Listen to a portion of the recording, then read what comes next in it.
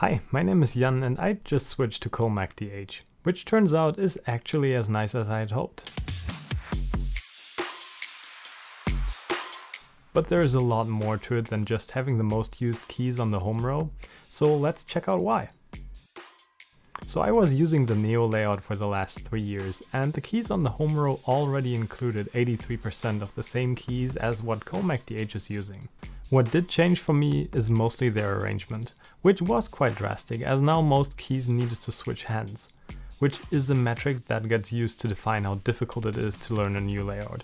Good for you that you will most likely be switching from QWERTY and this should be a lot easier as Colemak DH was designed to keep some of the most used keys in the same positions.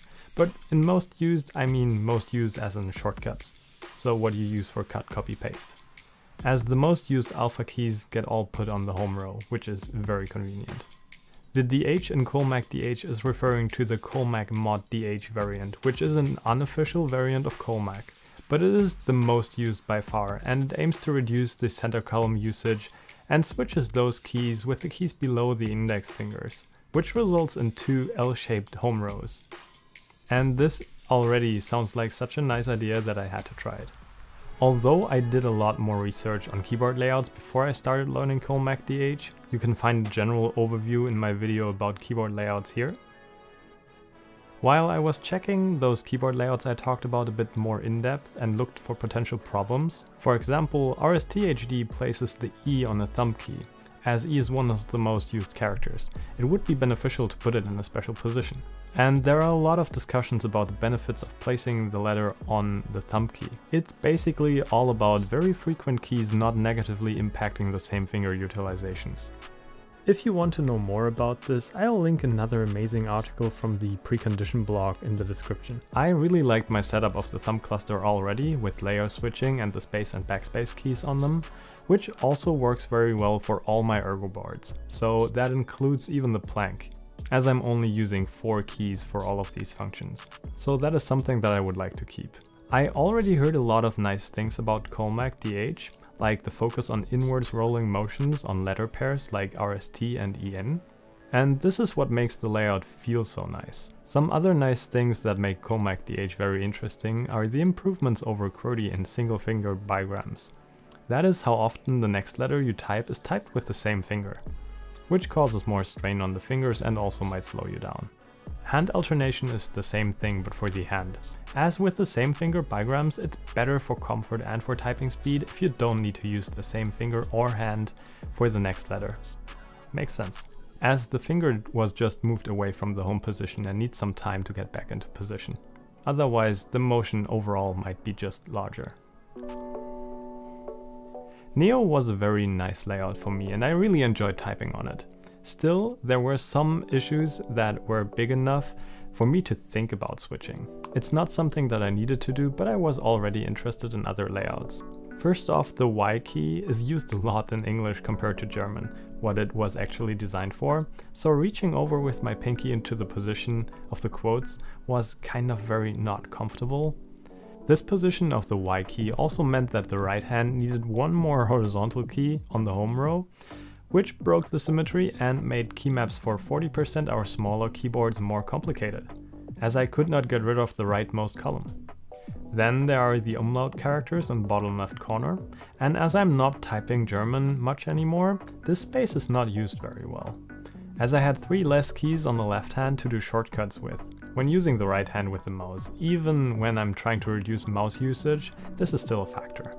But enough about Neo.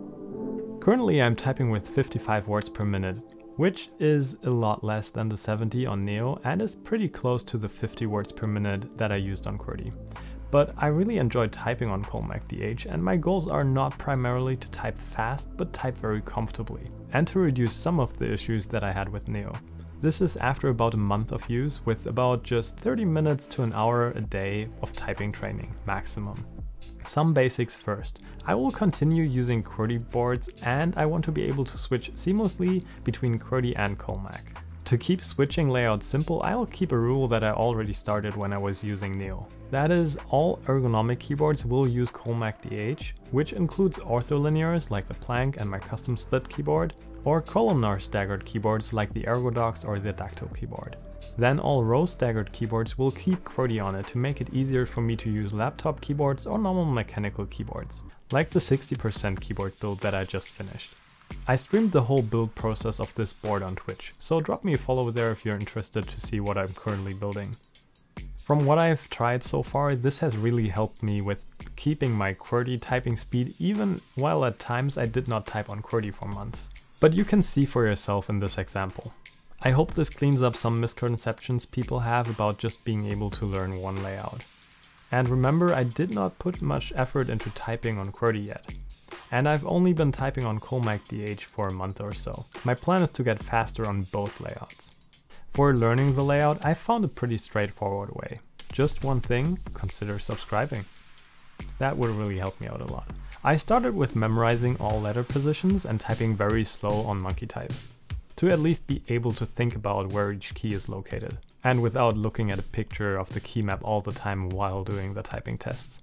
As I think that is not very helpful and will just get you faster with looking up where the key is instead of memorizing it. At this phase, my typing is well below 7 words per minute and I need to often remind myself to relax my shoulders as these were stiffening up quite a lot because of how much I was unsure where the next key is located and my hands moved into directions they really shouldn't. That overall led to much more tension in my arms as well. Just breathe in and breathe out from time to time and try to relax your muscles, as it's more like a brain exercise. After half an hour of this, I switch to KeyBR to train with just the home row keys, and start with practicing muscle memory, which is the actual part that makes you type fast. It did not take long to get the home row keys to a speed of 20 words per minute, with about 4 sessions of half an hour. I did them in smaller batches as when I got faster with typing, at some point my muscle memory got very confused and I ended up pressing keys that were not correct in QWERTY or Colemak. Not even on Neo. Don't let this discourage you. Every time I took a break from learning for at least an hour, this muscle memory confusion completely disappeared. And it was less effort to concentrate on the correct key positions and also type faster overall.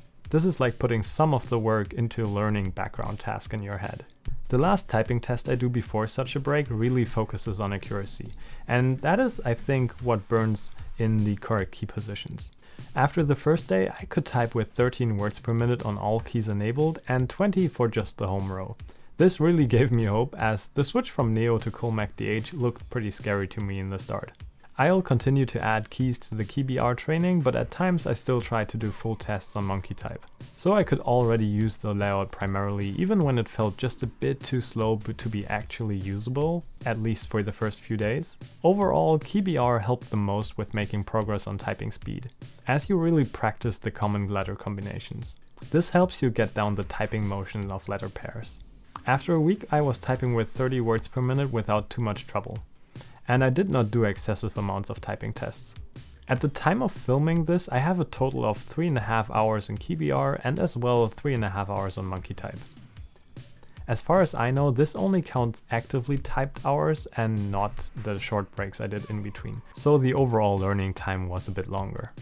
I did print custom keycaps for my W-split keyboard and placed them in the Colemak DH layout, but it did not make any real difference in the learning speed.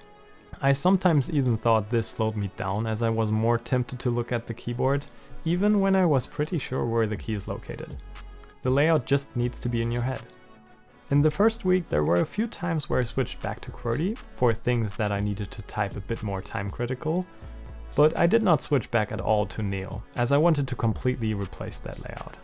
After the first month, I'm now at about 55 words per minute, with shorter parts of phrases going up to 65 words per minute but I'm not normally typing text as my typing basically consists of 80% writing code.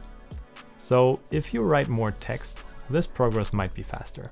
Currently I'm also working on increasing both my QWERTY and my Colemak DH typing speeds, as I want to be able to use both of them comfortably at the same time. I'll post an update video about this in the future. I started this now as my Colemak DH words per minute is very close to my QWERTY words per minute, but I'm currently not touch typing on QWERTY, so I'll learn that one as well.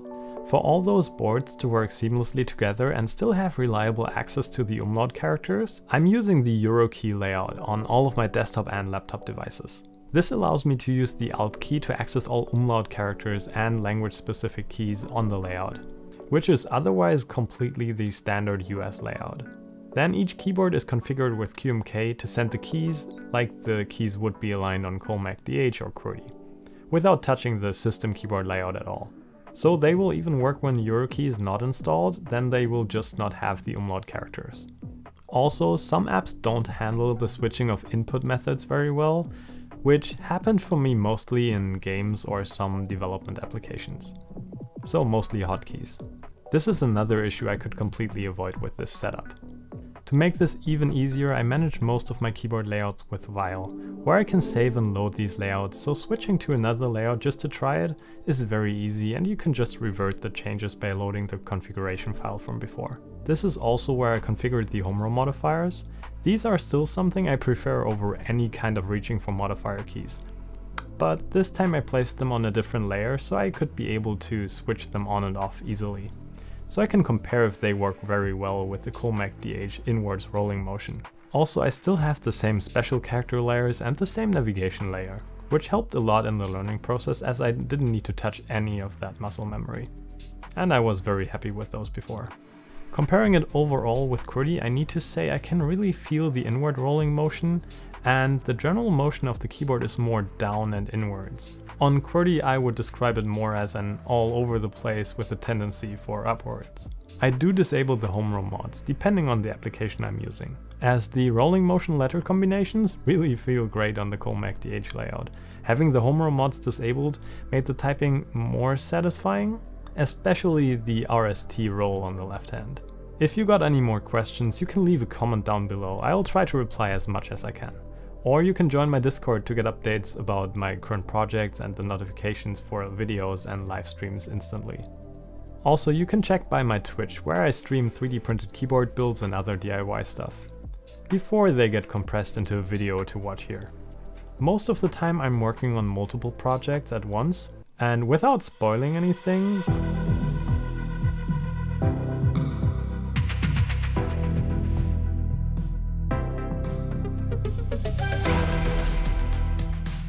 Thank you all for watching. This video was a bit more effort for me to make as it did take a lot of research time. On the other hand, I also needed to film it multiple times because my camera did not want to play nicely with me here. So if you like the stuff that I build here, a subscribe is definitely appreciated. Have a good day.